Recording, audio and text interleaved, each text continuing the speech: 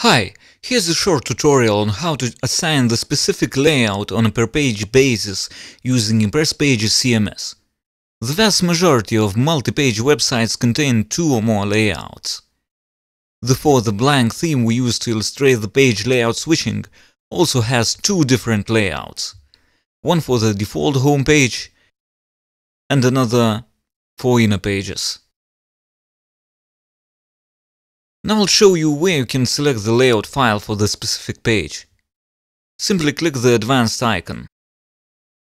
Then click the Design tab. Select the main PHP layout and click Confirm button.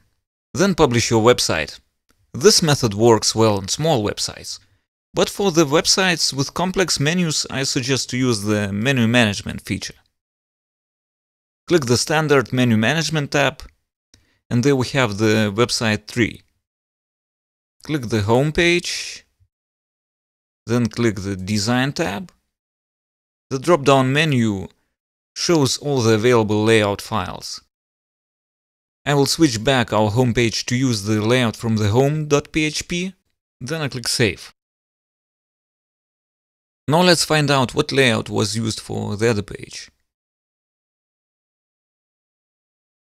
This page uses the layout generated by main PHP, which is the default layout file. Layout files are placed in the root folder of your current theme. All the layout files should have an extension .php.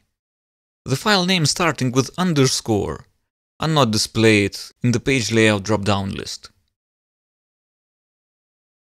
Let's say we want to create a new layout file and call it mylayout.php.